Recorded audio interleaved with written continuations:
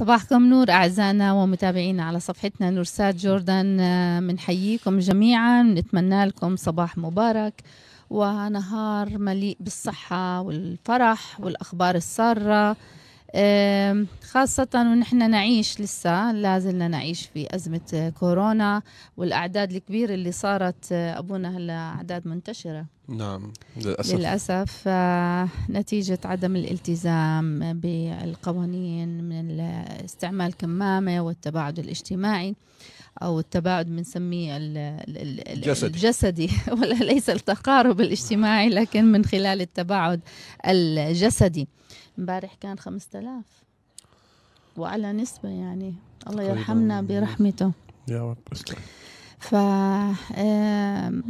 نحن بنتمنى طبعا السلامة للجميع. واللي عم يسأل آه، إنه شاف على الستوري بنورسات إنه عم نعمل عملية تعقيم هو فقط لا آه، احترازيا للحفاظ على سلامة الموجودين في المكتب مكتب نورسات الأردن وصحتهم ومن انتشار العدوى.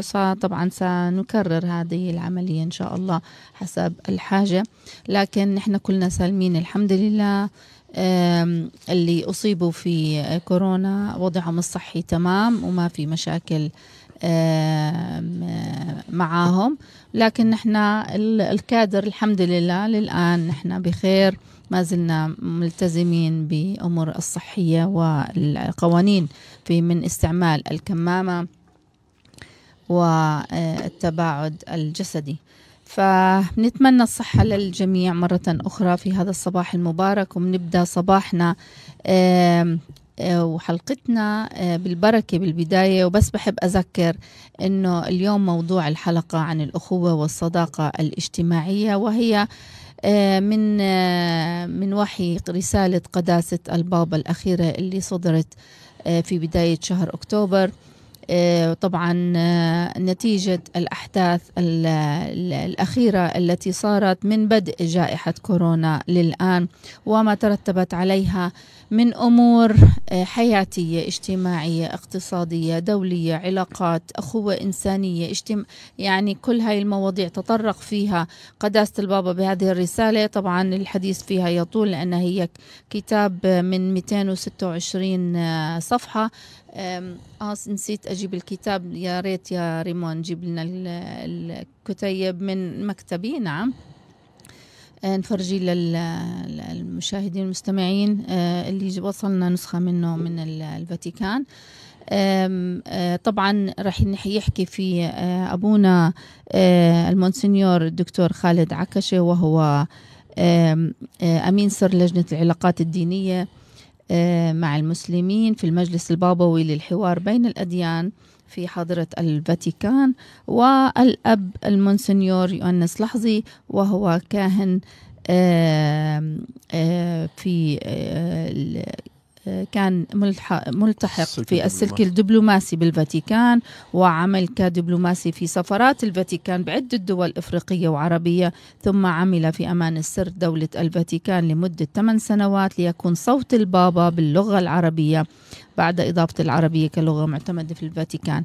إذا بتلاحظوا في نشرة الأردن في أسبوع من طلع قداسة البابا ورسالته باللغة العربية كان يقرأها الأب آه، الدكتور مونسنيور آه، يؤنس لحظي. والآن يلقيها الأب آه، جورج, أيوب. نعم من برضو كمان من كهنتنا. المعروفين والمحبوبين. فأبونا من بداية من- نبدأ بصلاة هيك صغيرة عشان آه، نبنى نبدي بعدين اتصالاتنا مع الكهنة. على مكتبي. صغيرة الوقت الحجم. بسم صغيرة. لونها أزرق. والابن والروح القدس الإله الواحد. آمين. آمين. الصلاة مستوحاة من آه، موجود بنفس رسالة قداسة البابا. كاتبها قداسة البابا نفسه نعم. وسماها صلاة للخالق. يا رب البشرية وأباها الذي خلقت البشر جميعا وساويت بينهم بالكرامة. ابعث في قلوبنا روح الأخوة ألهمنا بحلم من اللقاء والحوار والعدالة والسلام. حثنا على خلق مجتمعات سليمة وعالم أفضل. لا يعرف الجوع ولا الفقر ولا العنف ولا الحروب. لينفتح قلبنا لجميع شعوب الأرض وأممها حتى ندرك الخير والجمال. الذي زرعته في كل منها ونعزز روابط الوحدة والمشاريع المشتركة والآمال المشتركة.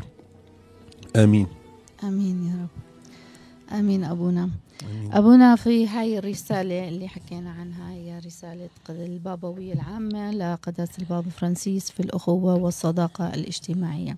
نعم. وهي مثل ما تحدثنا تقريبا 226 صفحة مكتوبة آه، وتحدثت يعني دراسة كاملة تدرس في الجامعات. يعني وأنا بنصح إنه هذه الرسالة آه، تدرس لكل كهنتنا بالتفصيل لأنه تحوي آه، كلمات ورموز وحكم وأفكار جدا جميلة نعم. في الأخوة والصداقة الاجتماعية. طبعا في أبائنا الكهنة اللي راح يشاركونا اليوم في الموضوع راح يتحدثوا كمان عنها. لكن أنت أبونا من خلال قراءتك لرسالة ال- ال- البابوية آه، ممكن أنك هيك آه، تلخص لنا أهم ما جاء فيها نعم. من عناوين كبيرة. نعم. أول شيء صباحكم نور أعزائنا المتابعين وين من كنتم نحييكم ونحملكم معنا بصلواتنا. نتأمل في آه، رسالة قداسة البابا الرسالة الاجتماعية المعنونة الأخوة والصداقة الاجتماعية. طبعا آه، بداية مقدمة قداسة البابا بحكي فيها أنه هو استوحى من شفيعه القديس فرانسيس الأسيزي شفيع قداسة البابا. آه، وهذه ال- العلاقة مع شفيعه آه، ساعدته على كتابة هذه الرسالة. ذلك القديس صديق الطبيعة الذي عشق الشمس والبحر والرياح ويتحدث في مقدمة قداسة البابا دكتورة عن الزيارة التي قام فيها القديس فرانسيس الأسيزي إلى مصر. نعم. ولقائه مع الملك الكامل. وبحكي قداسة البابا كيف بهذاك الزمن يعني بتحكي عن زمن بعيد كيف المواصلات كانت صعبة وكيف تحمل القديس فرانسيس عناء الذهب الذهاب عفوا إلى مصر. ومن هنا ينطلق البابا على الأخوة التي تجمع الإنسان بأخيه الإنسان مع البشرية جمعاء بغض النظر عن العرق عن اللون عن آه، هذا جنسيته من أي بلد. ويضع قداسة البابا في هذه الرسالة القيم المسيحية. نعم. و ويستند قداسة البابا في سرد تلك القيم المسيحية على ما قاله القديس فرانسيس الأسيزي بوجوب إعطاء نكهة الإنجيل لعلاقاتنا الاجتماعية مع بعضنا البعض وخصوصا خارج إطار الكنيسة. يعني مع الأشخاص اللي آه، ما بتربطنا فيهم أي علاقات يومية مباشرة. فننطلق إلى البشرية جمعاء. ووضع ثمان فصول قداسة البابا فيها بيحط آه، المحورية الأساسية لهذه العلاقات الصداقة كيف آه، تبنى في في ظل آه، عالمنا اليوم. وبيخصص فصل كامل لمثل السامري الرحيم. ويتساءل البابا مجددا مثل ما ورد بالإنجيل من هو القريب ومن هو قريبك؟ لما سألهم يسوع. آه، لما الشاب اجى ال- اللي قال أنا عملت الوصايا وأنا بحب وأنا بعمل وأنا بساوي. فربط البابا قصة السامري الرحيم ما بين الواقع الذي يعيشه اليوم المهجر. نعم. شفنا جثة الطفل الصغير اللي على الشواطئ التركية وكل يوم كل يوم يعني الأسبوع الماضي سمعت كمان عن وفيات والبي بي سي طلعت عن عن قصص مؤلمة عائلات بتموت بالبحار بتبلعها بسبب الهجرة غير الشرعية لأن الدول ما بتقبل الناس المهمشة والضعاف. نعم. بدهم شروط الهجرة يكون معه شهادة عليا يكون عنده صنعة يكون يفيد المجتمع اللي جاي. ما عم بي- بيقدموا إشي مجاني. وأكيد آه، علاقتنا مع بعضنا البعض خصوصا العلاقة مع إخوتنا بالديانات الكبرى اليهودية والإسلامية. للحديث عن ذلك طبعا راح ضيفك تقدمي لنا ضيفك هيو جاهز. نعم نحن سوريا هنا. آه، مش حابين ما حابين نترك ضيفنا ينتظر لأنه هو المونسنيور الأب الدكتور خالد العكشة آه، أمين سر لجنة العلاقات الدينية مع المسلمين في المجلس البابوي والحوار بين الأديان في حاضرة الفاتيكان. آه، وهو خبرته بهذا المجال مدتها 25 عاما في مجال الحوار المسيحي الإسلامي. فمنحييه هذا الصباح ومنقول له صباحك نور يا أبونا. صباحك نور أبونا. صباح النور لكم وأريد أن أحييكم بتحية القديس بولس إلى أهل روما. نعم. إذا النعمة لكم والسلام من الله يبينا ومن الرب يسوع المسيح. آمين. آمين. أبونا. أبونا من خلال أنت خبرتك في مجال الحوار المسيحي الإسلامي ورسالة قداسة البابا فرانسيس اللي عنوانها الأخوة في الأخوة والصداقة الاجتماعية. تبرز لنا أهم المحاور اللي ركز عليها قداسة البابا في هذه الرسالة من منطلق الأحداث والأحداث اللي عم نعيشها حاليا في هذا العالم والزمن اللي بسميه الفوضى اللي زادت فيها الفوضى مع وجود كمان كورونا اللي كشفت حقائق وأوراق كانت مخباية وكشفتها للملأ فممكن آه، تخبرنا. وتخبر مستمعينا نعم. ومتابعينا على نورسات آه، الأردن ونورسات في العالم أجمع عن نعم. هذه الرسالة. نعم. إذا أنا قرأت رسالة قداسة البابا الرسالة الجامعة عن كلنا إخوة فراتيلي توتي. نعم. قرأتها باللغة الإيطالية. نعم. وكان هذا الخيار عفوا مبنيا على قضية أردت أن أرى يعني أن أقرأ كلمات البابا وتفكير البابا والتعابير التي تخص البابا. وفعلا وجدت أن النص رائع. نعم. وجدت في يعني في في هذه الرسالة الجامعة قراءة لمشكلات عالم اليوم نعم. وبنفس الوقت قرأت أيضا ووجدت حلول يقدمها قداسة البابا لمشكلات اليوم سواء المشكلات المتعلقة بالبيئة ولكن أيضا قضية التفاوت الاقتصادي والاجتماعي قضية العنف قضية الإرهاب قضية الحرب آه، و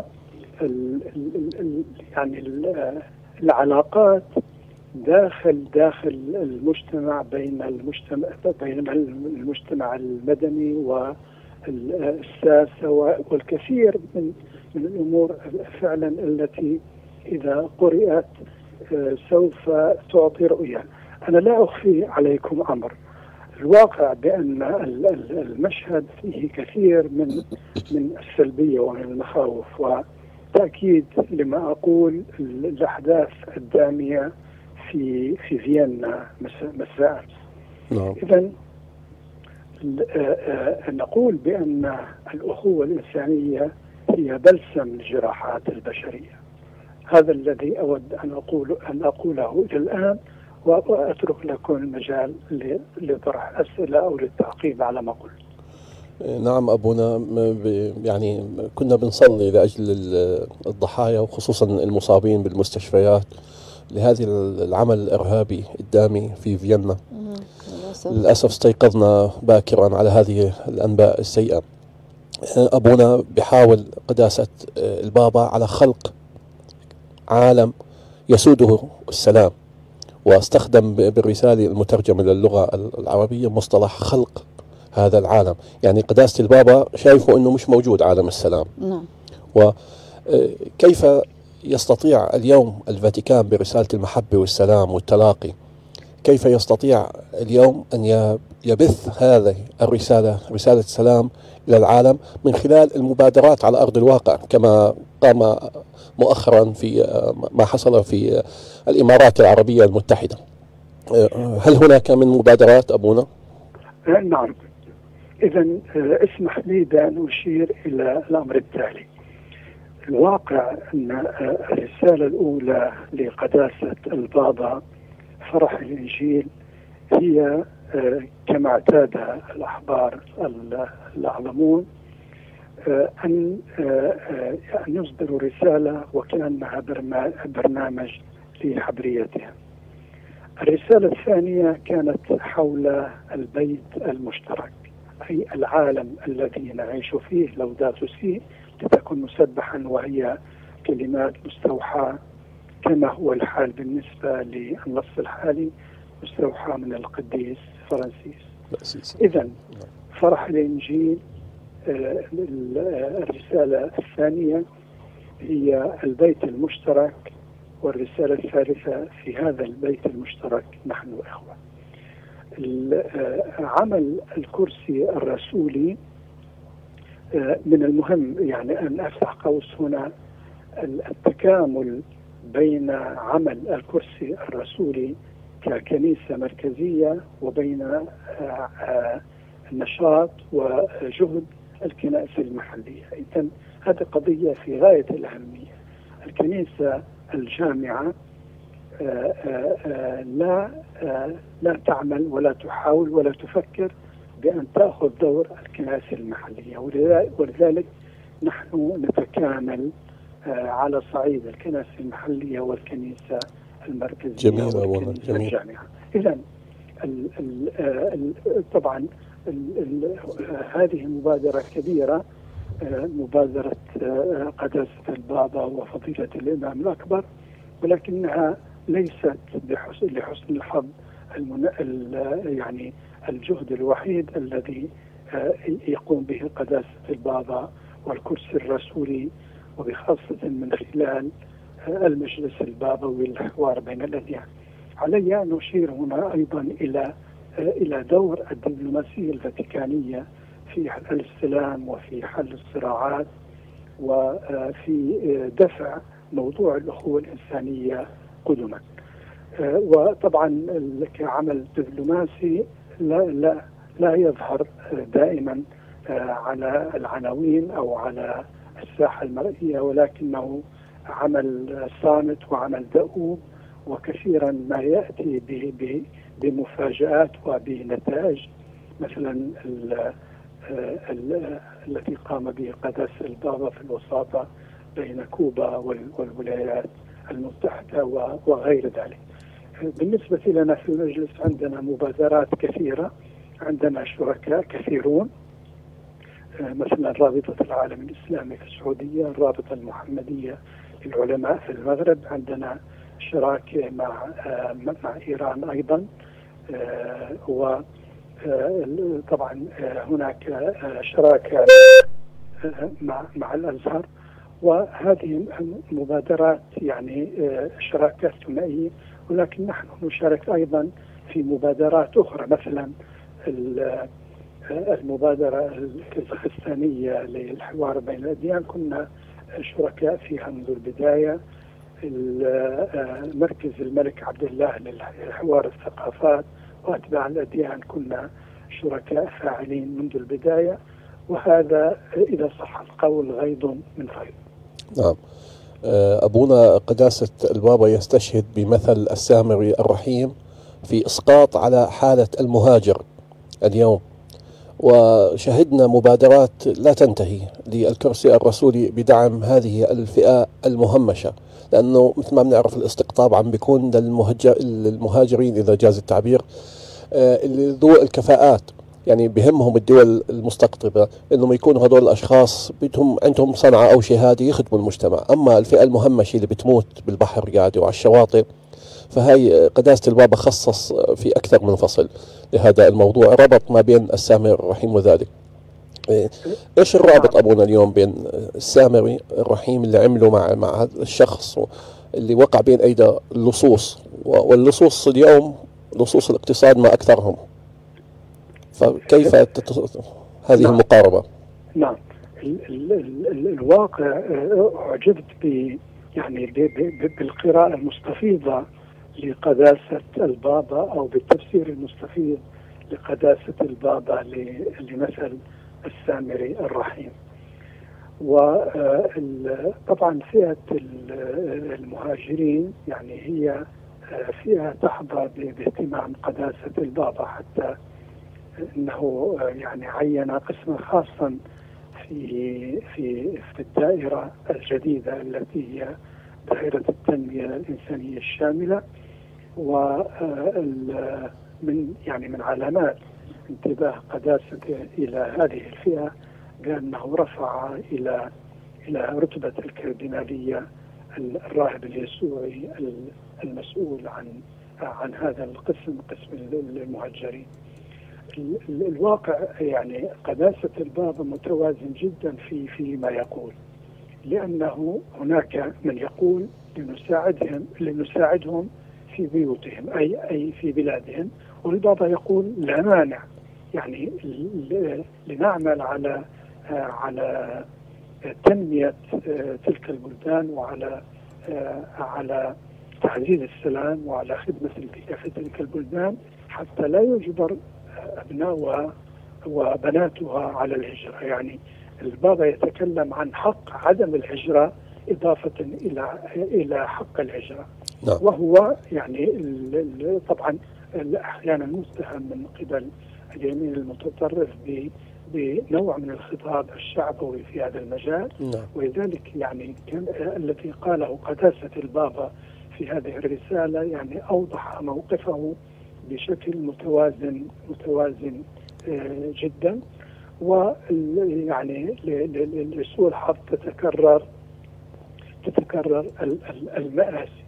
هنا أيضا لابد من وعي من قبل العائلات وبخاصه الشباب لأن الفئة المهاجرة هي في الغالب فئة الشباب. يعني يجب أن آه، يعوا الموضوع وال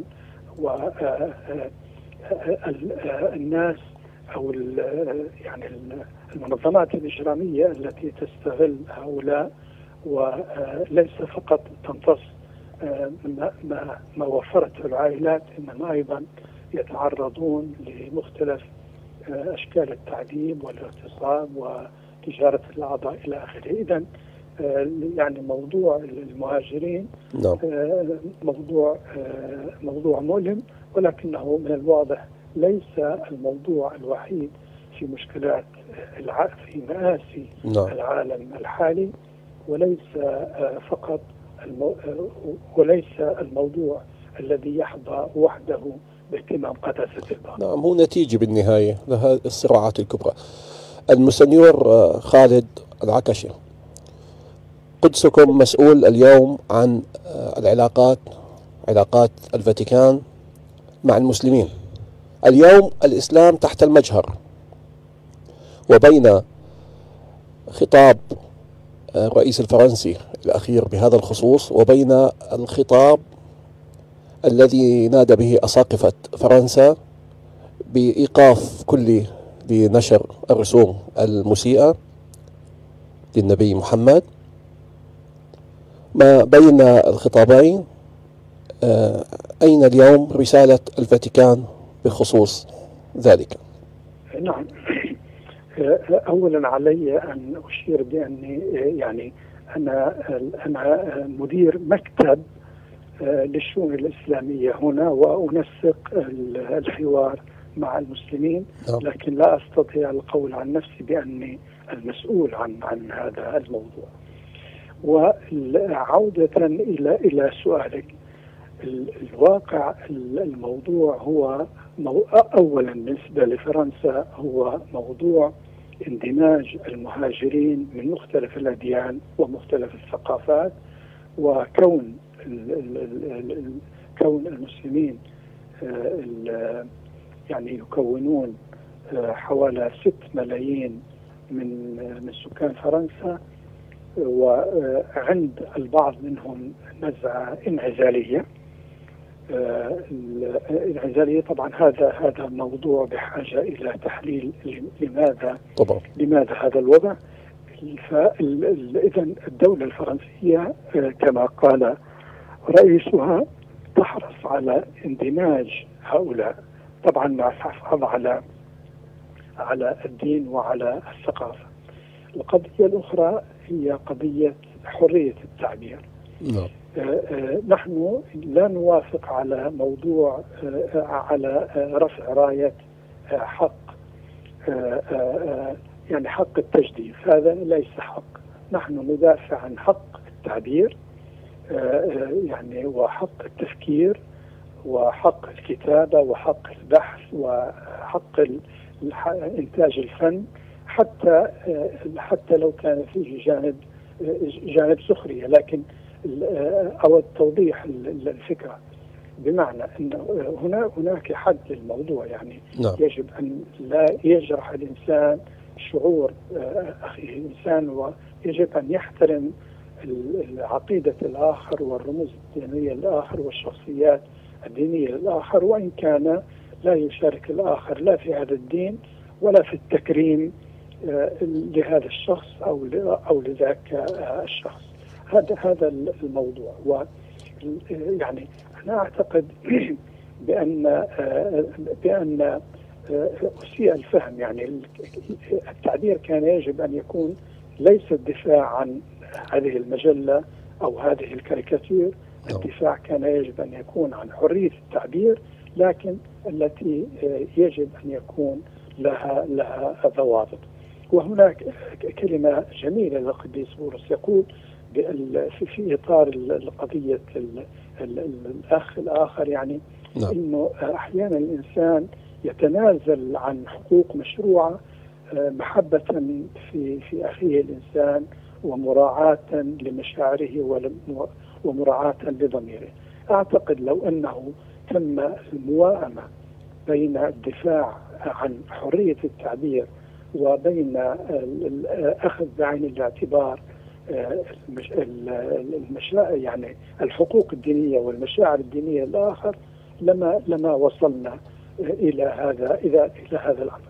لكن أود أن أشير هنا لسوء الحظ أيضا من جانب إخوتنا المسلمين إلى عملية شحن كبير للأنفس وهناك رؤوس حامية كما نقول في كل الأطراف ولسوء الحظ. يعني هناك أعمال إرهابية أيضا يستنكرها إخوتنا المسلمون. قامت بما سموه نصرة النبي أو دفاع عن النبي وهذا الكلام خطأ. ولحسن الحظ استنكره أيضا الكثير الكثير من المسلمين وبخاصة آه، سلطاتهم الدينية.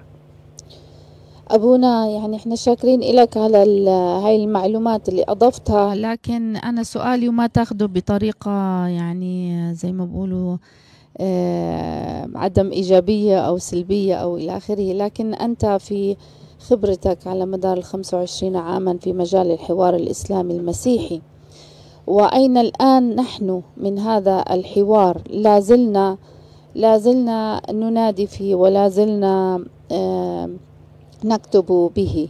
هل ترى مثل ما قال قداسة البابا في رسالة رسالته البابوية في الأخوة والصداقة الاجتماعية أن السبب ممكن يعود إلى مثل ما خبر وحكى وهم التواصل الرقمي؟ فما لم تبقى خصوصية وعدوان رقمي بلا حياء. يعني هل تعتقد أن الإعلام له دور في آه، هذا تصعيد هذا العنف والطائفية والتمييز العنصري والتمييز الديني إلى آخره؟ نعم. فهل هذه الوجه الآخر بنسميه الوجه المظلم من الإعلام والتطور التكنولوجي؟ نعم. إذا يعني أنا أعمل في في في الحوار آه، مدة طويلة ويعني آه، لي آه، نوعا ما مرقب بحكم بحكم الخبرة ومعرفة الكثير الكثير من الاصدقاء الأصدقاء المسلمين المسلمين الذين تربط تربطنا بهم صداقة حقيقية و كلام صريح ومودة. نعم. وأنا الصحيح لي أمل كبير بالحوار الحقيقي بالحوار الصادق وأنا أستشهد كثيرا بهذه الكلمة صديقك من صدقك لا من صدقك. فالصدق المتوائم مع المحبة وهذا يشير إليه قداسة البابا العلاقة الوثيقة بين الحقيقة والمحبة. هذا يوصلنا إلى نتائج وأستطيع أن أقول لك على الأقل في في فيما يتعلق بخبرتي بأن النتائج فعلا كبيرة وواعدة ولا يوجد محظورات على الأقل على الصعيد الشخصي بيني وبين أصدقائي نعم. لتناول أي موضوع الآن الواضح بأن يعني الإعلام هناك الإعلام المؤدب الإعلام الذي يبني ولكن هناك أيضا نعم. الإعلام المتوحش مثل العولمة المتوحشة وهناك أيضا الإعلام الموظف لتأجيج الكراهية أو الخوف من الآخر أو أو تسويق صور نمطية خاطئة وظالمة عن الآخر نعم. ولذلك جميعنا مدعو إلى الاهتداء إلى الاهتداء إلى الله تعالى وإلى إخوتنا وأخواتنا مصالحين دوما بين الحقيقة والمحبة في كل المجالات وأيضا في المجال الذي ذكرتيه الذي هو مجال الإعلام نعم. شكرا يا أبونا على هذه الاستضافة وهذه المعلومات اللي أنت آه، تطرقت إليها من خلال خبرتك آه، في مجال الحوار المسيحي الإسلامي. نحن شاكرين لك يعني تواجدك معنا في برنامجنا صباحك نور. ونتمنى دائما التواصل تباعا على عدة مواضيع نبحث فيها هذا الشأن لأنه علينا نحن كإعلام وإحنا مخصصين كإعلام كنسي كمان ديني. إنه ندعو مع قداسة البابا للحوار البناء حوار المحبة والتفاهم والوئام. ونحن في الأردن كنا كمان أيضا مع جلالة آه، الملك عبد الله الثاني بالأمم المتحدة في عمل أسبوع الوئام بين الأديان ورسالة عمان. فعدة مبادرات قام بها جلالة الملك عبد الله الثاني والحمد لله نحن في الأردن بالرغم من أصوات النشاز المعدودة اللي عم تطلع من هون ومن هناك لكن بالأردن عم نعيش هذا الوئام وهي المحبة الأخوية. فهذا نتاج أيضا رسائل كمان قداسة البابا بالتعاون مع دولة الأردن بال والحكومة وجلالة الملك. فبعتقد وأنت كاهن أيضا أردني في حاضرة الفاتيكان وأيضا مسؤول عن مجال في مجال الحوار المسيحي الإسلامي. فهذا هي نتائج العيش المشترك اللي نحن من من قديم الزمان نعيشه في هذا البلد المحب دائما للجميع. نعم اسمحي لي أقول كلمة. نعم. آه، آه، في الأردن نحن عائلة نعم. وهذه كلمة للمرحوم الملك حسين عندما رافق جلالة الملك عبد الله إلى الكلية العلمية الإسلامية وعبأ الاستمارة. ماذا كتب؟ كتب يعني عن عن وظيفته. كتب كبيرة أسرة كبير أسرة وخادمها. إذا هناك القضية بأن الأردنيون أسرة واحدة نعم. وبأن جلالة الملك هو كبير هذه الأسرة وأيضا باسم المسؤولية يخدم يخدم الشعب ويخدم كل مواطن. وأنا طبعا أرقب ما ما يحدث مثلا زيارة زيارة جلالة الملك للسيد من معايا من إربد عندما علم بأنها بأن لها رغبة في أن تراه فذهب إلى إربد وزارها. يعني هذه لفتات إنسانية وغيرها الكثير الكثير. فإذا أكرر بأننا في الأردن أسرة واحدة. نختلف طبعا نحن مختلفون في في الرؤى في الدين لكن نبقى دائما تحت مظلة الأسرة وفي قيادة أب حكيم ومحب للجميع. نعم. آمين يا رب. شكرا يا أبونا على هذا الكلام الرائع وهذه المشاركة. نتمنى لك كل الخير والصحة ودائما تكونوا بأمان وسلام وتكونوا محفوظين من فيروس كورونا وكل الفيروسات ال... كثيرة. أبونا سلمنا على قداسة البابا أهم شيء أكيد. من عمان. تسلم تسلم. تفضلكم سالمين وكل كهنتنا. آمين يا رب. في الفاتيكان شكرا لك أبونا وصباحك نور يا رب. إلى اللقاء. وأنتم أيضا مع السلامة. نعم شكرا. شكرا. أه قبل الفاصل قبل الفاصل بدي أحكي أه برنامجنا بعيد على زميلتنا الإعلامية روبيكا عودي بمناسبة عيد ميلادها وصبحنا عليها اليوم هيك شفناها فتذكرنا أنه نحب عبر برنامجنا هذا نقدم لها أه سنين كثيرة من الإنجاز آنس روبيكا عدنا إليكم أعزائنا ومتابعينا على صفحتنا نورسات جوردن في برنامج صباحكم نور ومنصبح على كل المتابعين اللي هلأ معنا على اللايف ومنقول صباحك ورد يا أحمد شرايحة هذا أكيد أخوي صباحك أبو أحمد. وأمل سلمان يا رب البشرية رحمنا وارحمنا من الأخطار والوباء. إبراهيم قمو يسعد صباحكم. أمل نادية نصراوي الصوت كان أبونا خالد شوي واطي لكن إحنا إن شاء الله بالمونتاج رح نرجع نظبط الصوت ونعلي هاي لأنه الاتصال شوية كان من تليفونات أرضية وأوقات ما بتكونش available أمل السلمان أبونا جورج محاور جيد والدكتورة باسمة مستمعة ممتازة. أوه يا سلام. شكرا. اجعلني أمل سامريا رحيما يا رب. ومين عندنا كمان؟ توني جورجيس صباح الخير. صباحك نور يا أخ توني وجميع الأصدقاء اللي, معنا على الصفحة. نحن هذا البرنامج آه ورسالة قداسة البابا الأخوة والصداقة الاجتماعية. حكينا فيها آه نتيجة اللغو واللغط اللي صار مؤخرا والأحد والأحداث التي الأخيرة التي صارت كمان أيضا أحداث العنف التي صارت في أوروبا قداسة البابا طبعا كان يعي هذا الموضوع وكتب هذه الرسالة وعدة رسائل تتحدث عن الأخوة الإنسانية والصداقة الاجتماعية نعم. معنا على الهاتف الآن المونسنيور يؤنس قايد لحظي وهو دبلوماسي عمل في الفاتيكان وعمل في سفارات الفاتيكان بعدة دول إفريقية وعربية وعمل أيضا في أمانة سر دولة الفاتيكان لمدة 8 سنوات. وكان صوت قداسة البابا باللغة العربية بعد إضافتها كلغة معتمدة في الفاتيكان. وهو دعي أنه مهندس أيضا للعلاقات الإسلامية والمسيحية خاصة في زيارة قداسة البابا الأخيرة إلى مدينة دبي, دبي والوثيقة الأخوة الإنسانية التي كان هو مهندسها و ونشرها نعم, نعم. وأهم شيء خدمته بعمان بسفارتنا طبعا في, عمان. في عدة دول.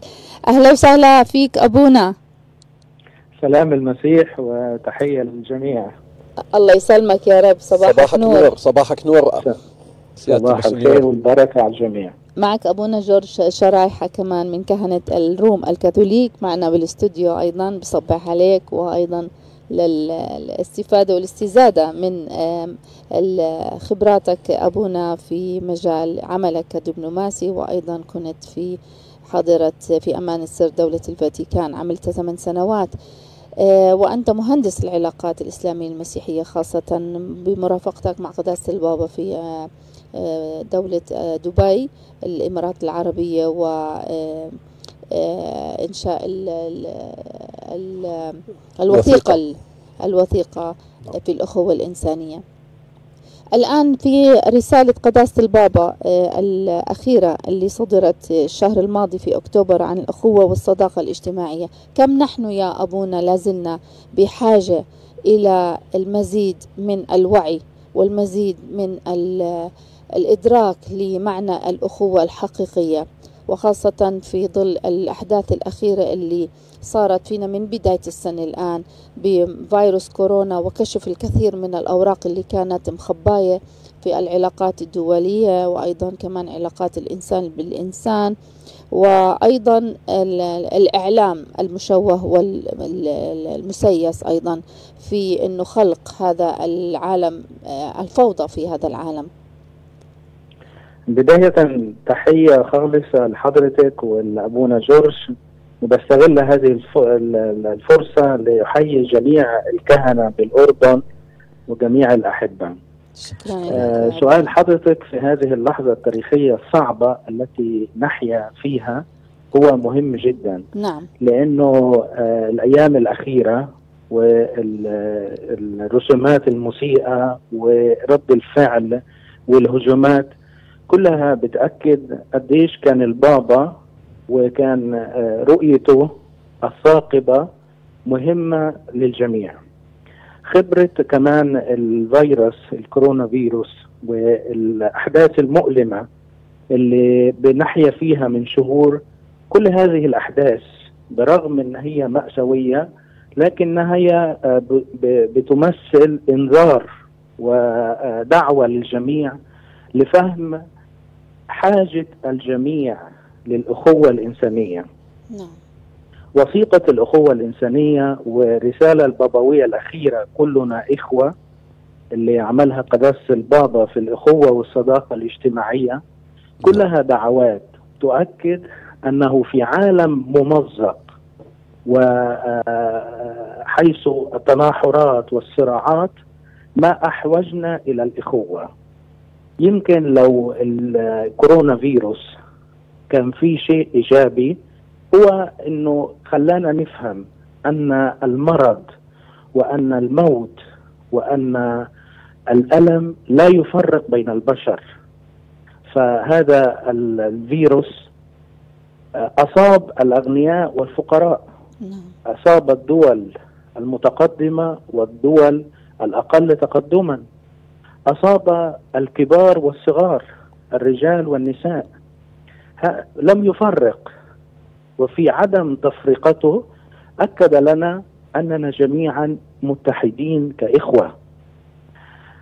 عشان كده وثيقة الأخوة الإنسانية والرسالة البابوية الأخيرة كلنا إخوة هي دعوة جديدة لأن نتحد في آه، إنسانيتنا في كوننا إخوة في الإنسانية.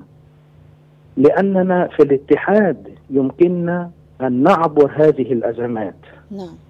تاريخنا مليان تاريخ البشرية مليان بالصراعات وبالحروب. لأنه كل واحد أو كل ديانة كمان كانت ترى في الآخر عدو وتسعى لهزيمته. بينما آه، رسالة القديس فرانسيس الأسيزي ورسالة السيد المسيح والرسالات البابوية الأخيرة كلها في اتجاه أننا تعبنا من الصراعات وأن الصراعات لا تولد الا مج... الا إلا مزيد من الصراعات والحروب وأننا جميع حاجة إلى أن نتوقف وإلى أن نرى أن الصراعات لا يمكن لها أن تجعل حياتنا أفضل بل بالعكس عشان كده آه، رسالة البابا الأخيرة كأنها رسالة نبوية جاءت قبل هذه الأحداث التي نحيا فيها لتدعو الجميع للتعقل وللتفكير وللتأمل. فما فائدة أن نصب البنزين على الغاز وأن نؤجج الصراعات وأن ندعو إلى مزيد من الانتفاضات هل هذه الصراعات التي حدثت في التاريخ ولدت سلام ولدت رخاء ولدت تعاون؟ بالعكس كأننا لا نريد أن نتعلم الدرس وكأننا نعيد دائما نفس الأخطاء. عشان كده آه، دعوة قداسة البابا وكمان وثيقة الإخوة الإنسانية التي وقع عليها بشجاعة فضيلة الإمام الأكبر وقداسة البابا نعم. في دولة الإمارات في منطقة الشرق الأوسط في أول زيارة حبرية ل- آه، آه، لحبر أعظم في منطقة الجزيرة العربية آه، كلها دعوة لنا اليوم وللإعلاميين وللكهنة وللمسؤولين ولرجال الدين من كل الديانات للتوقف والتمهل. والتعلم بأن الشر لا يمكن الانتصار عليه بمزيد من الشر.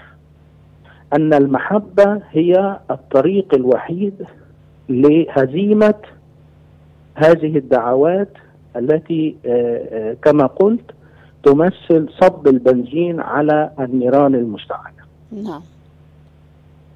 نعم. قدس البسنيور يؤنس لحظي جيد الكاهن الروحاني القبطي والدبلوماسي الفاتيكاني البارع. كيف تقيم اليوم؟ في رسالة قداسة البابا يتمنى الفصل ما بين السياسة والاقتصاد ويطالب بالسياسة المحبة. فكيف تستطيع اليوم قدسكم أن تترجموا في عملكم الدبلوماسي السياسة المحبة في ظل عالم تخبطه أمواج النزاعات والحروب والجائحة الحالية شكرا. آه، السياسة والاقتصاد وكل ما نحياه خاصة في فترة الجائحة التي نحيا فيها نعم. يجب أن تكون لخدمة الإنسان. آه، علمتنا هذه الأيام الصعبة على الجميع والتي لا نعرف متى ستنتهي أننا لا يمكن أن نخلص أنفسنا بعزل أنفسنا عن الآخرين. شفنا كلنا أنه حالة واحدة من الكورونا فيروس يمكنها أن تقلب بلدان بكاملها وأن لا مفر لي بدون أخي. فلا أستطيع أن أحمي نفسي أو أن أحمي عائلتي أو أن أحمي بلدي أو أن أحمي شعبي بمعزلة عن الآخرين. عشان كده دعوة البابا سواء للاقتصاد أو لرجال السياسة أو لرجال الدين أو رجال المسؤوليات بأن يروا سياسات تجمع ولا تفرق. واقتصاديات لا آه، آه، يدفع ثمنها الفقراء والمستضعفين. فما أحوجنا اليوم إلى سياسات وإلى اقتصاد المحبة الذي لا يرى في الآخر لا عدو يجب هزيمته ولا آه، شخص يجب استغلاله من أجل المنفعة الشخصية.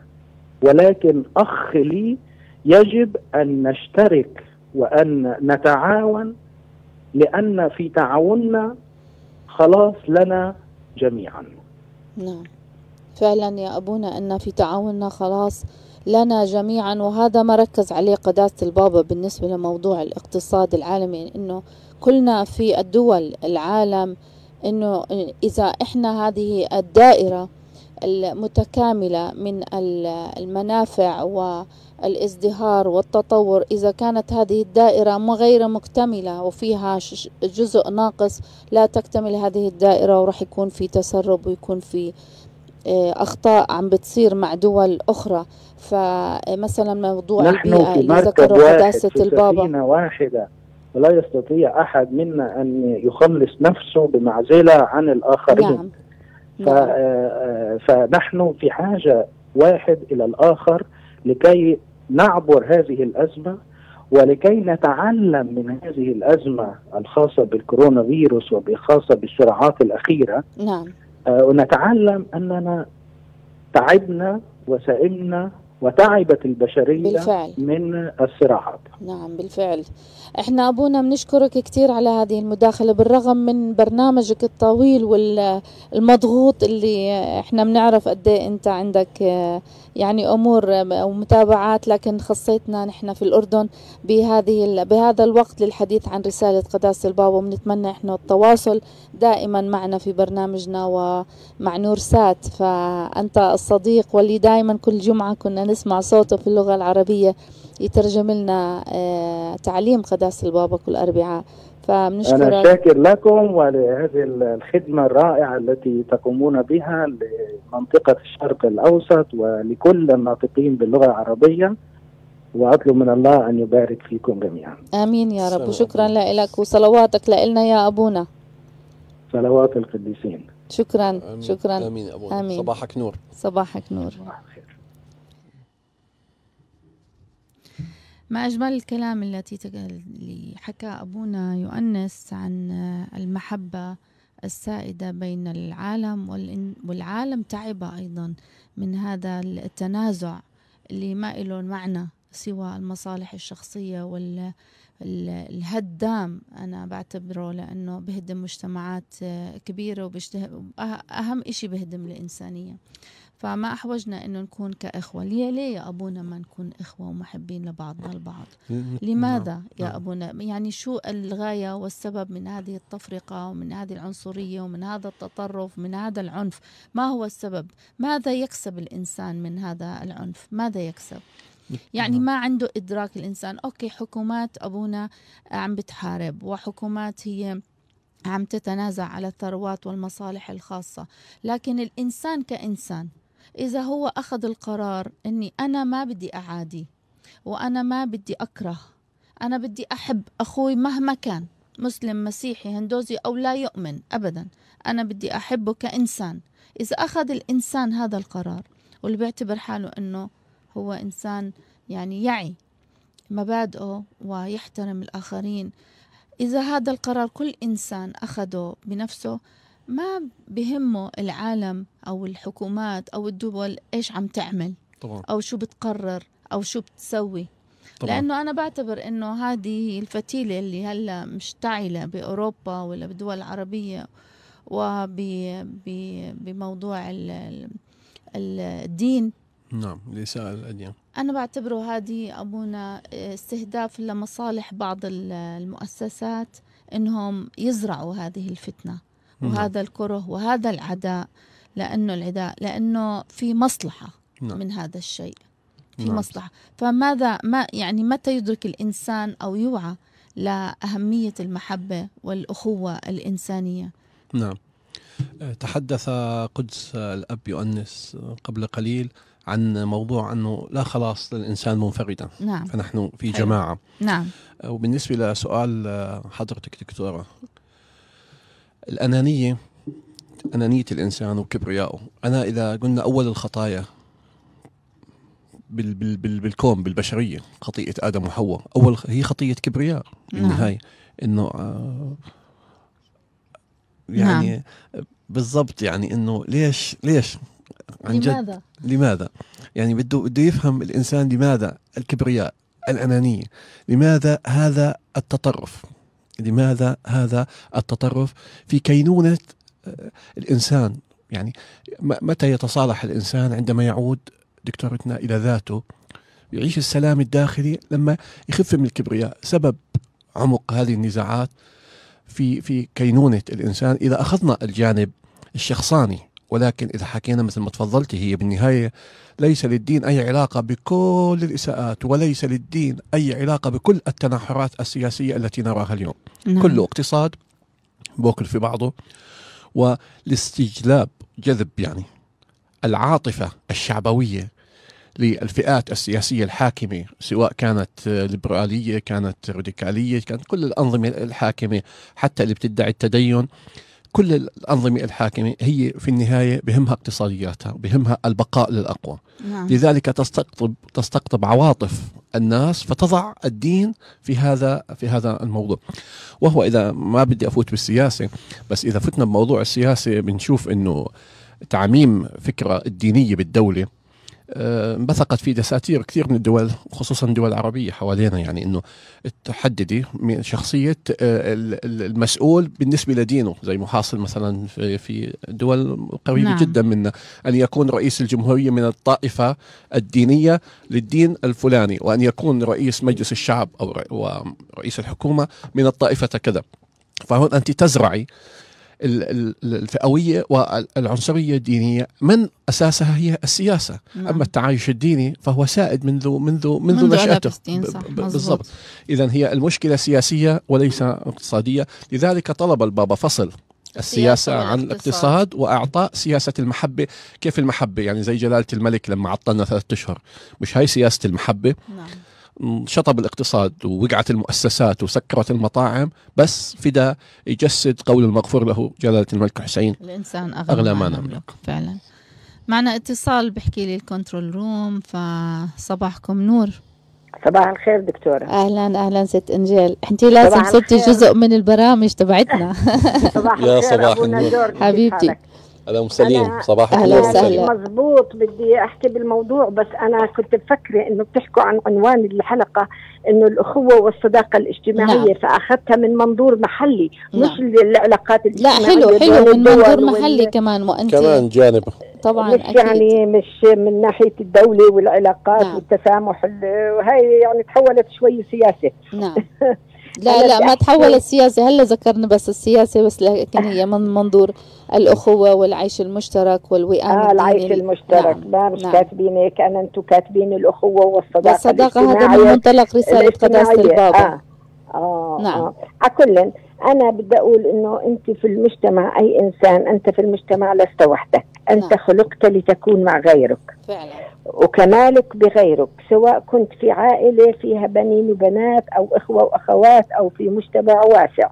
نعم. وفي المجتمع صور كثيرة للتجمع. طبعا في جمعيات متنوعة أحزاب مجموعات صلاة أخويات رعية قرية مدينة وطن هاي كلها موجودة وإحنا بتعايشين عايشين فيها. نعم. وكلما كلما عزل الإنسان نفسه عن شيء من كل هذه أنقذت نفسك وأنقذت ما يجب أن يكون فيك كاملا. نعم. فالعلاقات الاجتماعية ضرورية للإنسان. نعم. ليش؟ لأنه أنت إنسان قبل كل شيء. أنت مساوي لكل إنسان مهما اختلفت مهما كانت الاختلافات. نعم. فالديانات ليست حواجز بين الناس. لأن جوهر الدين هو عبادة الله ومحبة جميع خلقه. عشان هيك ليكن محضرنا دائما محضر خير. أنا أخذتها من ناحية زاوية مجتمعية محلية يعني الصداقات بين الناس والعلاقات الاجتماعية. فهل هذا مقبول ولا لا؟ مش أكيد. هيك عنوان حلقتكم؟ أكيد أكيد أكيد طبعا. هذه إضافة إحنا نشكرك عليها ست أنجيل وفعلا يعني زي ما تفضلتي. نحن ما عايشين لوحدنا. نحن عايشين آه، بين الناس وعم نعمل صداقات في العمل في البيت في الجيرة في أي في أي مجتمع. أكيد. فليكن ليكن دائما محضرنا محضر خير. أكيد. ودائما نجد عذ- عذرا للذي أخطأ بحقنا. ما أجمل و- كلامكم سليم. يص وليصفح بعضنا عن بعض كما صفح الله عنا في المسيح. آمين. أفسس أربعة. واحبب قريبك كنفسك متى 19 اذهب وصالح أخاك. كل يعني إنجيلنا وكتابنا المقدس بيحكي عن ال- العلاقات والأخوة والصداقة. من ضربك على خدك الأيمن فحول له الأيسر. نعم. في متى خمسة؟ يعني إنه يكون الإنسان مستعد للمصالحة والسلام. فدائما حلو. نستبدل كلمة أنا لما بدي أعمل صداقة دائما وعلاقات مع الناس إنه أستبدل كلمة أنا بنحن. فيشعر الأصدقاء بتواضعك. قلل الحديث عن نفسك واذكر محاسن الآخرين. فيستمع لك الآخرون. أبعد عن الكبرياء وإلا لن يبقى لك صديقا. ازدد تواضعا كلما ازددت عظمة فتنال حظوة لدى الرب يشوع بن سيراخ ثلاثة. حلو جميل. واجعل الآخرون يشعرون بحبك لهم. إذا لم تستطع أن تحبهم على الأقل عاملهم نعم. بحب. في متى 19 نعم. نعم. وأخيرا لا نشغل حواسنا بكل طاقاتها حتى نرصد أخطاء الآخرين. لأنه إحنا هيك بنرتاح وبنريح الناس. نعم. ولا تكتفي بالقشور من العلاقة. دائما نصافح الناس بحرارة ننظر في عيونهم ننظر في قلبهم بقلبك ونشاركهم فرحهم بصدق وحزنهم بدمعة من القلب. وإذا لم تسعفك العيون لا تكتفي بالقشور من العلاقة. أدخل للعمق أبعد إلى العمق. بلوقس فالصديق, فالصديق وقت الضيق والقوي يسند الضعيف. حلو. سددوا قليلي الهمة وساندوا الضعفاء. بتسالونيك خمسة شكرا لكم. شكرا لك يا أم سليم يعني جميل جدا هذه الإضافة اللي أضفتي لنا إياها كمان خاصة من النصوص من الكتاب المقدس. نتمنى لك كل الخير يا رب والمحبة شكرا. وصباح شكرا. النور. شكرا لكم. آه، أبونا في رسالة في كتاب أو مقالة أو هو تفسير لرسالة قداسة البابا آه، ذكرها سمو الأمير الحسن المعظم نعم.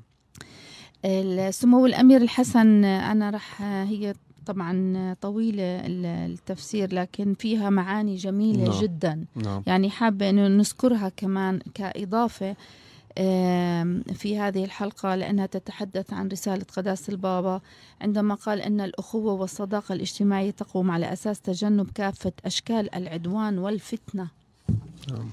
والعيش الأخوي تجاه الأشخاص الذين لا يتشاركون في الإيمان نفسه نعم. وهي المبادئ ذاتها التي نادى بها القديس فرانسيس الأسيزي لدى نعم. زيارته للسلطان الملك الكامل في عام 2000 1219 وأيضا ذكر أيضا أن الأخوة الإنسانية تقوم على أسس بشرية لها أبعاد دينية وروحية. فمحبة الفرد لشقيقه الفرد يجب أن تتحدى الحدود الجغرافية والمكانية.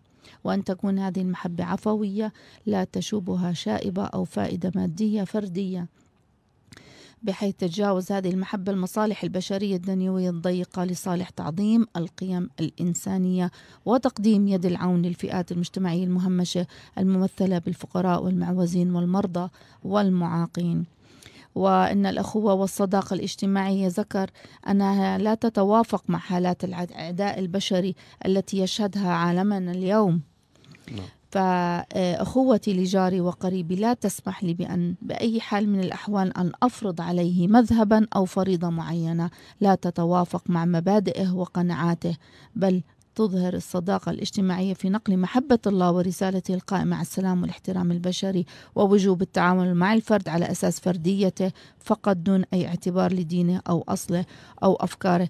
جدا معاني جميلة ذكرها سمو الأمير الحسن بن طلال المعظم أيضا حين قال إن الاختلاف بين البشر في الإمكانيات والروحانيات يجب ألا يقف حجر عثرة في سبيل تحقيق المساواة مع الغير كعماد للعلاقة الأخوية والتضامن الإنسانية. وهي طويلة هاي ممكن إحنا نذكرها في عنا في صفحتنا للي بحب يقراها كاملة. فأنهاها في فما أحوجنا اليوم وفي كل مكان. وبالأخص في منطقة الشرق الأوسط مهد دياناتنا الإبراهيمية الثلاث إلى استصدار ميثاق اجتماعي جديد يوفر للمستضعفين الدعم الحقيقي والتضامن البشري بين الجميع. فالتفسيرات المتعددة الأبعاد السياسية والمصالح الفردية للمعتقدات الدينية قد ساهمت في نشر الكراهية ونبذ الآخر والخوف منه وبالتالي الاعتقاد الخاطئ بوجوب إيقاع العنف على الآخرين من هنا تكمن المسؤولية المشتركة للقادة الدينيين اليوم في الدعوة إلى المحبة الأخوية التي ستكون الأساس لإقامة أخوة إنسانية اجتماعية راسخة وثابتة تدوم وتستمر. جميل ما كتب نعم. سمو الأمير الحسن نعم. فعلا نحن بحاجة إلى ميثاق نتفق عليه جميعا في مجال الأخوة الإنسانية أبونا ما شهدته أوروبا كمان مؤخرا في فرنسا وفي هلا فيينا سمعنا هذا الصباح من آه، أعمال عنف يعني آه، لما أنت بتطلع على دولة فرنسا يعني أنا آه، استطلعت يعني الأمور التي قامت فيها فرنسا منذ بداية القرن الماضي 1226 بيقولوا لك أول مسجد 1926 أول مسجد تم تدشينه في مدينة آه، بباريس آه، مسجد باريس الكبير. سنة 1926 جمهورية عريقة. فرنسا. دشنت أول وكان في لغط كتير إنه كيف تدشن دولة أوروبية مسجد, كبير. لسنة 1951 وما بعد أبونا 2000 بحدود 2300 مسجد مبني في فرنسا. من سنة 2000 ل 2017 أبونا. جميل. بحدود 2 مليون مهجر. ونازح آه التجأ إلى فرنسا. استقطبتهم. دخل استقطبتهم وأعطتهم الجنسية الفرنسية و90% نقول س- آه، 85 لا 90% منهم من الدول العربية الإسلامية. معاهد كتيرة أبونا على نهر السين بعرفش إذا زرت فرنسا. نعم. في معلم كتير كتير كتير حلو كبير.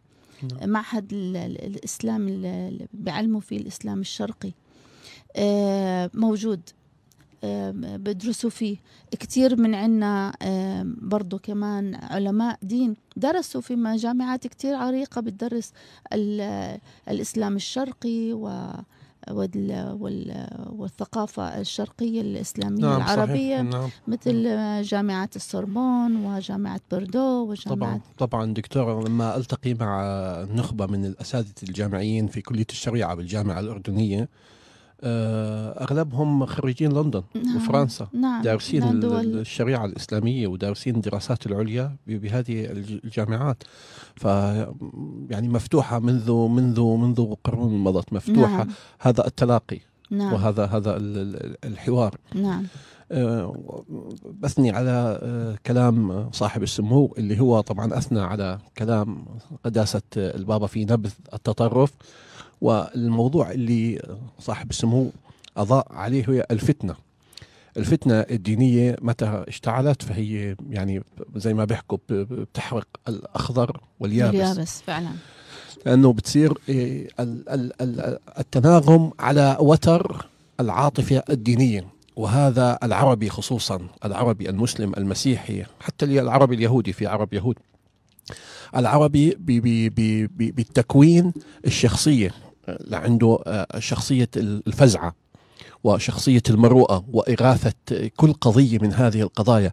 يعني لما طلعوا الشعار آه، بعد الرسوم المسيئه إلا رسول الله الشعار. ده يعني في عندهم تابو في في في عند العربي شغلات شرفه مرته خواته اولاده دينه. هاي شغلات على استعداد بكل سهولة يضحي بحياته عشان يموت يموت يقدم شهادة فداء بيته فداء أسرته فداء دينه.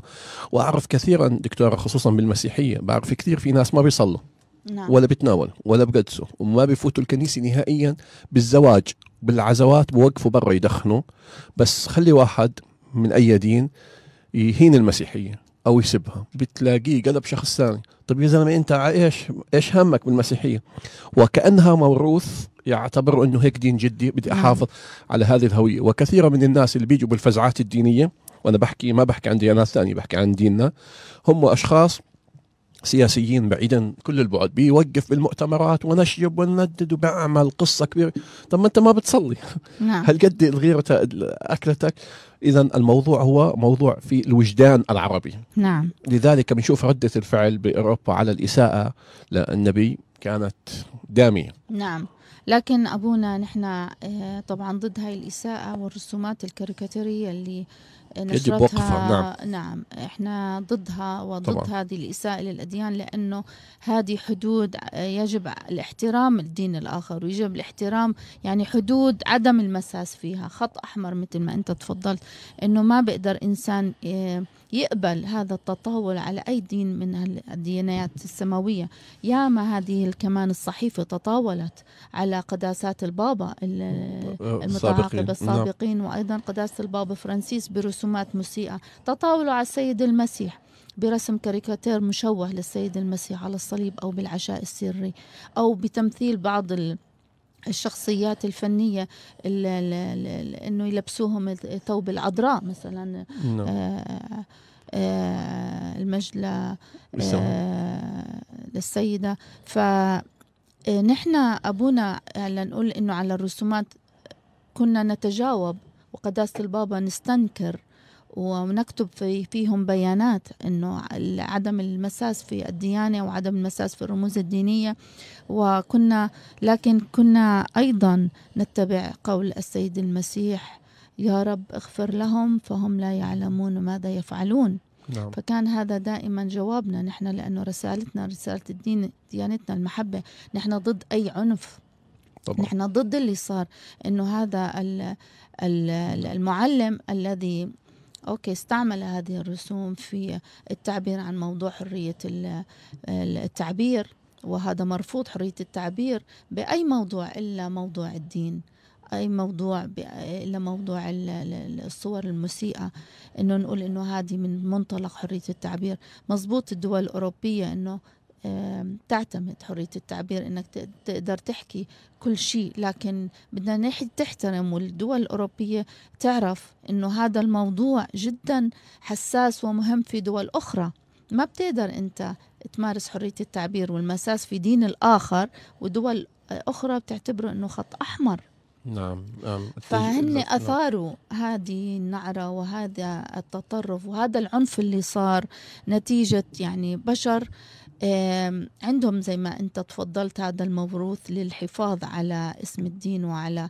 موروثهم وهويتهم نعم. إنهم يستعملوا العنف لأنه بيعتبروه إنه شهادة نعم شهاده للدفاع عن الدين. نعم. لكن كثير علماء الإسلام أفتوا فيها وأنه هذه مش شهادة أنك تقتل إنسان آخر. يحاكم هذا الإنسان وتنزل عليه أقصى العقوبات ويتعلم. والدول المجتمع الدولي عليه فرض قوانين يعني شديدة ومشددة أنه أي دولة تمس دين آخر في إن كان باسم حرية التعبير إنها تشدد عليهم العقوبات. يعني هذا يصير في قانون دولي. مش إنسان يفرض العقوبة نعم. كشخص فردي يعني قرار قتل وقطع رأس هذا المعلم بهذه بهذا العنف وهذه الوحشية. هو قرار فردي لشخص آه، انفعل نتيجة هذا ال- ال- الفعل اللي قام به هذا المعلم وحكم على هذا المعلم بالموت. مثل ما. صار كمان عندنا أبونا في سابقا كم من سنة مع الكاتب آه، آه، نهض حتر. نحن كمان هو كفرد شخصي هو قامت الدنيا يعني وحتى جلالة الملك كمان آه، دخل في هذا الموضوع. نحن لا مش مع العنف ولا مع الكراهية.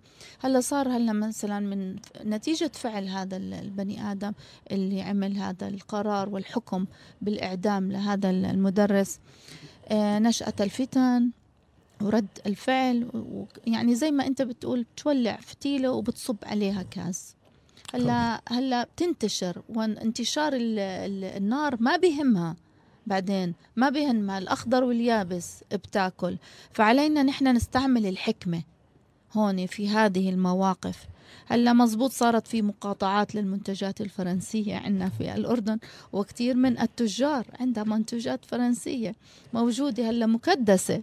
في مستودعاتها يعني عم تخسر وهدول أشخاص أردنية ومن هذا البلد. يعني مع جائحة كورونا ياما سمعنا يعني عم نسمع هلا بقول لك مع جائحة كورونا والاقتصاد واقع والآخر وهلا مقاطعة المنتجات الفرنسية. فبقول لك أنا شو ذنبي؟ اللي بصير بأوروبا أنا باكل هوا فيه هون بالأردن أو بالدول العربية. لكن هو مزبوط أنه التعاطف مع الآخرين وأيضا آه، بالهاشتاج اللي عمله إلا رسول الله إلا أي نبي كمان إلا إلا إلا السيد المسيح إلا ال- النبي موسى إلا كل الديانات إلا خط أحمر هذا. فنحن طبعا آه، مع سياسة دولتنا ومع حكمتها ومع حكمة جلالة الملك عبد الله اللي طول عمره عم بينادي بالوئام والأخوة الإنسانية أيضا. آه، علينا أنه نقف بجانب بعضنا البعض ونقف مع بعضنا البعض لأنه نحن كمان نعيش في دولة مش منفصلة.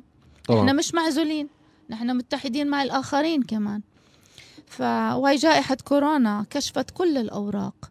يعني ذكر قداسة البابا في واحدة من النقاط اللي ذكرتها الصبح عن موضوع العزلة نعم. عزلة بعض ال ال ال ال أجانب ال ال نعم ال- مهاجرين كمان في. العزلة الإنسانية وأيضا أحلام محطمة يعني خاصة مع اللي صار مع الاتحاد الأوروبي و آه، خروج اللي هي بريطانيا. خروج بريطانيا نعم لكن علينا إن إذا بدنا نعيش بسلام نعيش متحدين مش منعزلين آه، أخوتنا كإنسان وكبشر تكون مع بعض البعض فنحن آه، مزبوط مع حرية التعبير نرجع بنحكي لكن في حدود. ما تيجي على حدي ما باجي- بدون إساءة ما باجي. على حدك. مثل النهر الجاري يا أبونا. آه، النهر الجاري فعلا بحرية ينطلق. وما في إشي بوقفه نهر جاري. لكن في له ضفتين هذا نعم. النهر. لأنه هاي الضفاف هي اللي بتحدد مسار هاي الحدود لهذا النهر في الجاري. limit طبعا. هذه الحدود فعلينا أن نضع دائما كإعلام وإعلاميين وصحفيين وكتاب وأنه نحط حدود لكتاباتنا ونحط حدود لألفاظنا والجمل التي ننطقها. آه، نحط حدود ياما شفنا آه، كلمات مسيئة للآخرين. نحن كمسيحية في هذا البلد من البلد بنعيش بوئام فعلا. ونحن هذا لامسينه. لكن مثل ما حكيت في البداية في بعض الأصوات النشاز وخاصة إحنا على ال social media عم نشوف إنه ما هب ودب صار الكلام يسيء. نعم. لا ال ال ال أنت أسيء لك كديانة مسي... إسلامية ولكن لا تسيء للدولة للديانة المسيحية لأخوتك اللي عم بتعيش معهم في نفس البلد. نعم. شو ذنبهم؟ يعني شو ذنبهم؟ فحبيت أحكي هذه المداخلة يا ابونا لأنه فعلا شيء يعني بوجع القلب. نعم فعلا مؤلم نعم. مؤلم. نحن في جائحة كورونا اللي عم بتصيب الكل الجميع ما عم تستثني حدا. وكلياتنا نحن في هذا الهم سوا. فإذا بدنا نفرق مسيحي مسلم ضاعت البشرية وضعنا كلنا وفيروس كورونا انتصر على البشرية وعلى الكرة الأرضية. الله. فنهايتنا كبشر على هذا الكون ينتهي في فيروس صغير لا يرى في العين المجردة. أنهانا جميعا. فأين أين الحكمة في بشريتنا وإنسانيتنا؟ وين حكمتنا؟ إحنا كبشر ومتعلمين ومثقفين وماخذين أعلى الدرجات من العلم والثقافة وال... والتكنولوجيا والتقدم التكنولوجي. وينه؟ وينه؟ إذا ما أس... أثمر فينا نعيش حياة كريمة ويحافظ على كرامة الإنسان بلا منه. فاسفه لانفعالي لكن فعلا الأمور عم تخرج عن مسارها. وربنا يرحمنا برحمته. نعم يعني بضلها. فئات فئات قليلة زي ما أنت تفضلتي قبل قليل وحكيتي بضل في أصوات نشاز. ولكن آه، العالم سينتصر وبنظرة إيجابية ل- للأمام.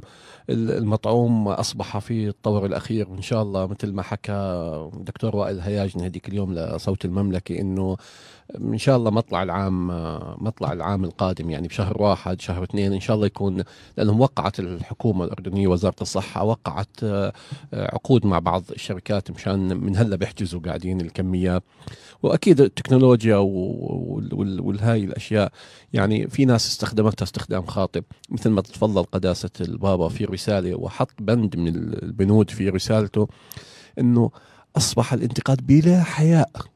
بلا حياء وفسرها قداسة البابا إنه أحيانا الواحد بيخجل من ال- اللقاء الوجاهي مع الأشخاص اللي هم مختلف معاهم بسياسيا أو اقتصاديا أو أي فكر آه، يعني إذا كانوا في مناظرة مثلا إذا كانوا في في موضوع الانتخابات مثلا اللي هي على الأبواب يعني نعم. الأسبوع القادم زي نعم. اليوم يعني نعم ففي في هذه بيصير في منازعات وخصامات سياسية ما بين المرشحين مع بعضهم البعض بيضل في سقفية معينة لأنه قدامه الشخص. بحكي قداسة البابا على وسائل التواصل الرقمي.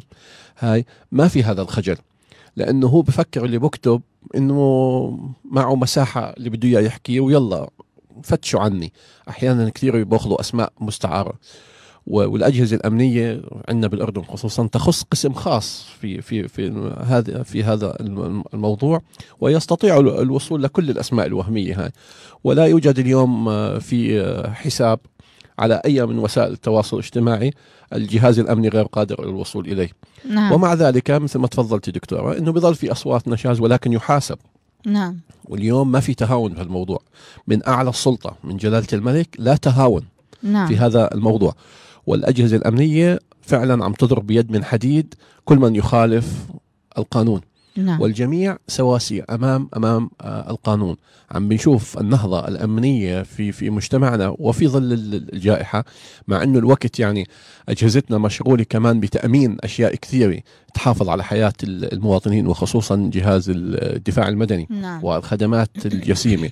وراح نشوف المستشفيات الميدانية اللي راح تصير بكل الشمال والجنوب والوسط بالشوارع راح يصير علاج الناس مش بس بالمستشفيات المعهودة. اذا دكتورتنا بنشوف إحنا أيضا أن القوى التي ينادي فيها قداسة البابا القوى الإيجابية والسلام اللي بيستخدم مصطلح خلق السلام يعني إنه هو مش موجود للأسف يعني لا في سلام في الشرق الأوسط ولا في سلام بالعالم وحتى زي ما تفضلتي الاتحاد الأوروبي اللي كان نموذج نعم. لهذا الاتحاد مع هذه القارة العجوز نعم. لما حكيتي حضرتك عن زيارتكم آه، الأخيرة إلى باريس مع الوفد الحكومة السياحة لما دخلوا الأردن نعم. على هذا بتذكر التراث العالمي نعم موقع المغطس نعم أنت بتحكي عن الجمهورية الفرنسية أنت بتحكي عن 1789 تخيلي 1789 طالب الشعب الثورة الفرنسية بحقوقه وأسس جمهوريته يعني تخيل انت بتحكي 1700 نعم. كان في عندهم دستور كان في عندهم الجمهورية الأولى نعم. يعني عن دولة عريقة بها بهذا الحجم واستقطبت كل هالعالم ومع ذلك بنسمع أصوات هنا وهنا في جوا الجمهورية الفرنسية ومن أشخاص سياسيين متمرسين بيغلطوا نعم. وبيأججوا وبيصعدوا. يعني أنتم شايفين خطاب الكراهية والإساءة للأديان وين المنحنى اللي اللي بينزل فيه. ليش طيب؟ ليش العناد يعني؟ ليش تكبير الرأس يعني؟ ما فيش ما فيش داعي خلاص. في في قواعد بدون إيذاء المشاعر. يعني جميل يعني إذا شارليدو نزلت بكرة كرتور رئيس الجمهورية عندهم بتنزل بتقدر تنزل له هو لابس لبس خلاعي؟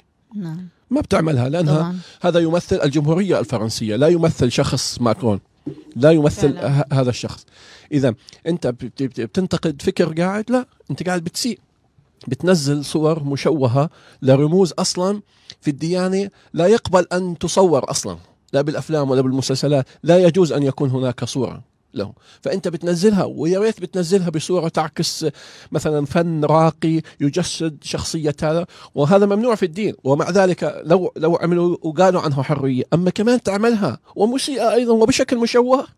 وبدك الناس تضلها ساكتة وت... حكى عن قداسة البابا في هذا الموضوع الكرامة أيضا دكتورة. نعم. إنه مش الأشخاص اللي عندهم الغنى بالدول أن الدول الغنية يسلط ثقافته على الدول الفقيرة ويمشي فكرهم وثقافتهم وحضارتهم. لا من كل حق الإنسان إنه يكون عنده كرامته نعم. خاصة ويعبر دون الإساءة. اذا زي ما تفضلت النهر الحد هو الإساءة بيطلع بسيء إيش بيعمل النهر؟ بهد البيوت بيخرب بصير فيضان. نعم. هذا هو الفيضان. وبطل نهر. بطل نهر. صار نهر آه، آه، النيل زي بيعمل بالسودان. هدام فعلا يا أبونا. آه نحن بحاجة إلى آه الوعي التريث والحكمة في كل كلامنا وتصرفاتنا مع الآخرين. نتعامل بإنسانية وفيروس كورونا كان أكبر مثال وجوده هلا بيناتنا إنه نتعامل انسانيا ونركز على إنسانيتنا وأخوتنا ومحبتنا لبعضنا البعض مش بس بالأردن بكل العالم العربي والعالم العالم أجمع. نعم. فإذا ركزنا على الأخوة والمحبة الاجتماعية للجميع نحن في عالم متحد سوا بالهم يعني على السراء والضراء المفروض نكون. فعلى أساس نعيش بأريحية. وبسلام. آه، بكفي مثل ما حكى المونسنيور يؤنس إنه بكفي العالم تعب. العالم تعب يعني وهل والآن قعد مش عارف كيف يتصرف. ف حالة الإحباط واليأس هذه يعني نوقع فيها آه، مش وقته. مش علينا أن ننهض ونستعيد. قوتنا ومحبتنا لبعض ومبادئنا وعيشنا المشترك اللي إحنا بنعرفه وديانة المحبة اللي نادت فيها دي الديانات السماوية كاملة. آه نرجع لجذورنا في محبتنا واخوتنا لبعضنا البعض. وموضوعنا أبونا كمان إحنا الأسبوع الجاي عندنا الانتخابات النيابية. راح يكون طبعا راح تكون آه، موجودة. بدك تروح تنتخب شكلك طبعا أكيد. طبعا. لازم جميعنا نمارس حقنا الدستوري وحقنا في الانتخاب. ونختار النائب المعتدل في تفكيره اللي بيظهر آه، المحبة والأخوة الإنسانية. نوابنا نحن بنعرفها. وهن نوابنا أولاد بلدنا. وبنعرفهم واحد واحد. مين هو هاد؟ وشو أفكاره؟ وشو مبادئه؟ وشو أعماله؟ وأفعاله. ما بده تعليمة. كلنا بنعرف بعض. فإحنا نح- نحكم عقولنا. ونختار الشخص اللي رح يمثلنا يدافع عن حقوقنا يمثلنا ويحافظ على المبادئ الأساسية من جذورنا اللي إحنا ورثناها في المحبة والسلام والمساواة والعدالة والكرامة. إذا هذا النائب بيتحلى بهذه الخصال الخصل انتخبوه. وإذا نائب عليه أي علامة استفهام بدي أقول آه بلاش منه. فعلا. لأنه بكفي نحن كمان في مجلس النواب كانوا في أصوات تنادي أيضا في العداء للأخوات الإنسانية نعم فهدول للأسف. إحنا بصراحة نحن مش منبر آه سياسي هون أو دعائي آه، ما علينا إحنا إحنا بسياستنا هون في القناة قناة نور سات ما بنحكي بالسياسة ولا بموضوع الانتخابات لكن نحن بما إنه قداسة البابا تطرق للأخوة الإنسانية فعلينا. نعم. أن نرى في هذا النائب هذه المبادئ كمقعد مسيحي أنا بحكي كمان وأيضا كمجلس مجلس النواب كنواب وطن إنه مم. نلاقي فيهم نرى فيهم هذه المبادئ مبادئ نعم. الأخوة الإنسانية والصداقة الاجتماعية نعم. من المحبة لكي نرى نتائج هذه الأخوة والمحبة في المجلس القادم المجلس 19 اللي بنتمنى للجميع وبما اللي بيستحق إنه ينجح ويمثلنا نحن كمسيحيين وكنو كنائب وطن أيضا. نعم تحت قبة البرلمان آه، مثل ما تفضلتي آه، في أحيان كثيرة كان هناك آه، عداء ضد ال- ال- الأخوة الإنسانية بغض النظر عن من يمثل هذا النائب الفئة التي يمثلها إلا أن نحن اليوم يجب أن نجزم بأنه لا نعيد انتخاب النائب اللي شفناه ما ما حقق لنا شيء نعم. ونعطي فرصة للشباب الجديدة بأفكار جديدة. خلينا نعم. نجرب ونشوف. أما ما ن- يعني ما نقعد بالبيت ونقول ما أنت ما اللي دخل. لأنه بالضبط لأنه ما كل كل شفتش خير الماضي تأشوف خير ال- اللي جاي. بالضبط لأنه أنت كل كل ناخب لهذا المرشح هذا نعم. مرشح. بعد بعده ما صار أنا اللي بعمله نائب. إذا نعم. كل كل كل ناخب هو في النهاية يصل نائب مش مرشح نعم. يوصل نائب في النهاية الصوتي فليش أنا أخلي شخص غير مسؤول يوصل؟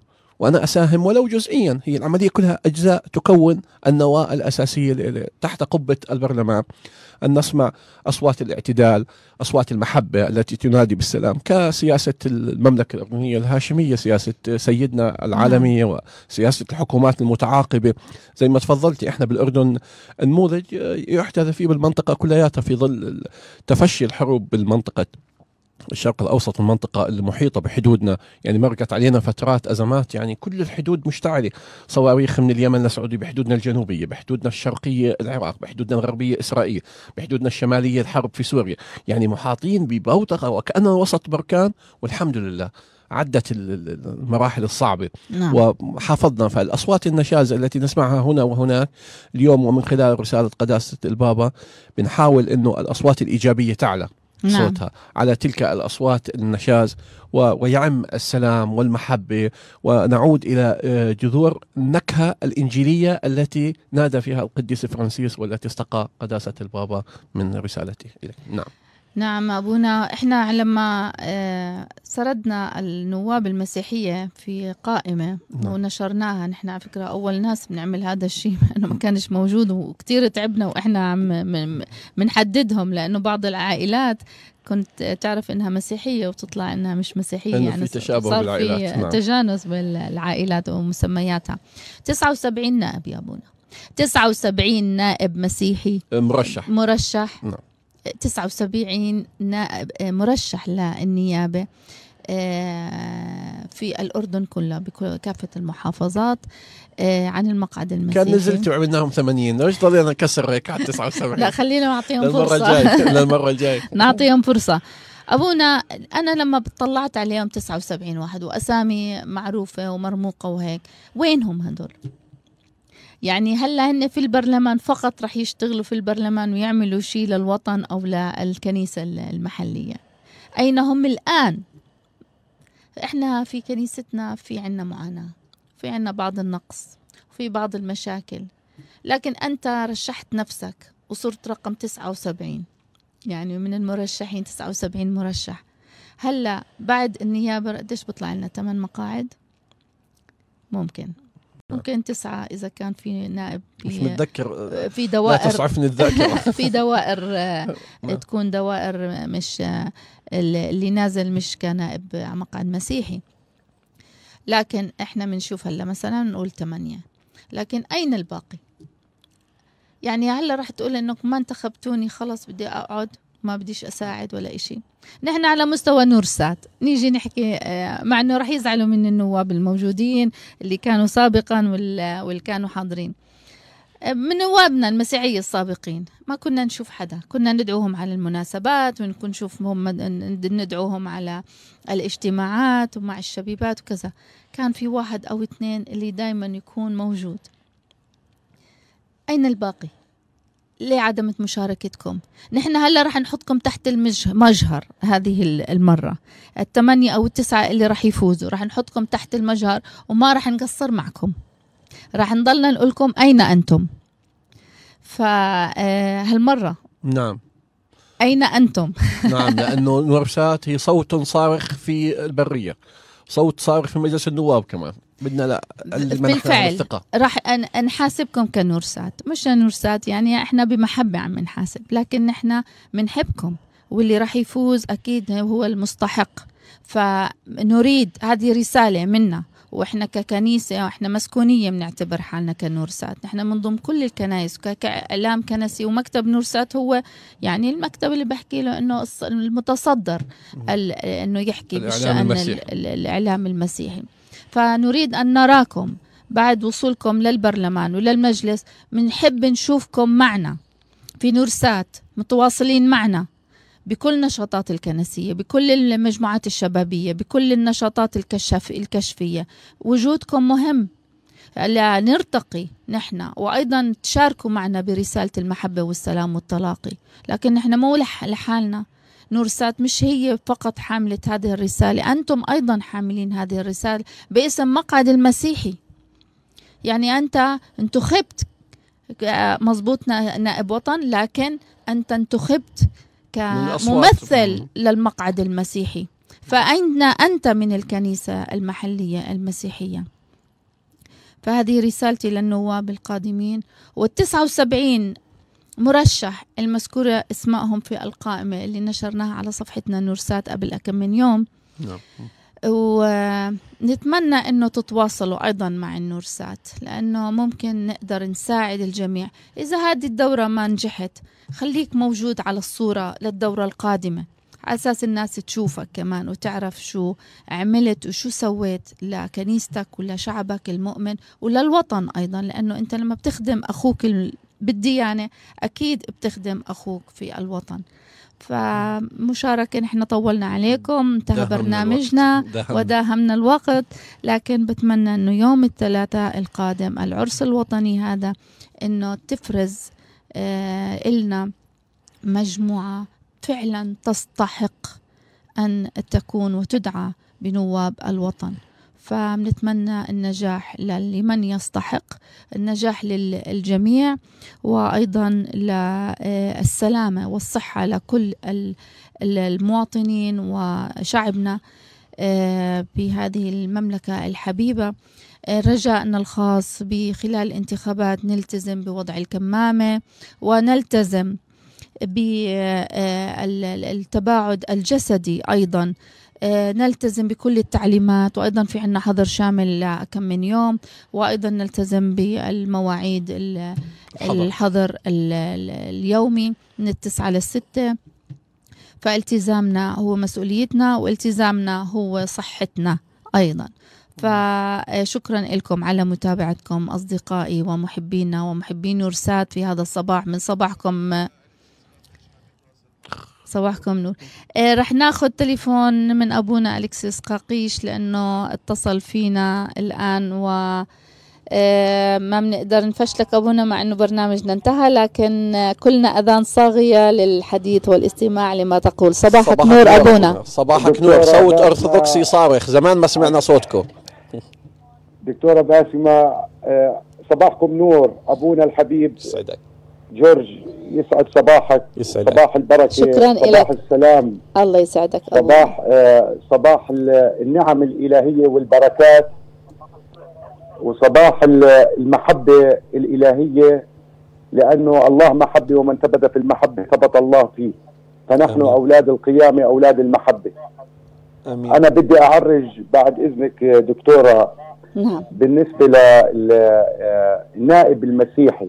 نعم. أو على المقعد المسيحي. نعم. اللي تفضلتي وتكلمتي عنه. نعم.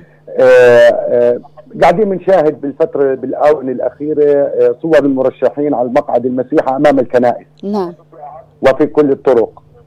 ولكن السؤال الذي يطرح آه، نفسه أين هم المرشحون قبل بدء الحملة الانتخابية نعم. من الكنائس؟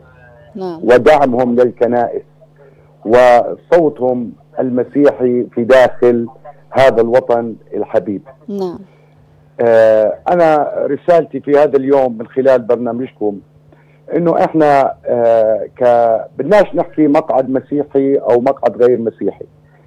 نحن نشجع الجميع على أن يدلوا بأصواتهم لكي يفرزوا النائب المعتدل النائب المحب النائب الذي يحب هذا الوطن ويريد خير هذا الوطن لكي نعيش بسلام ومحبة. نعم. هذا هو النائب الذي نريده.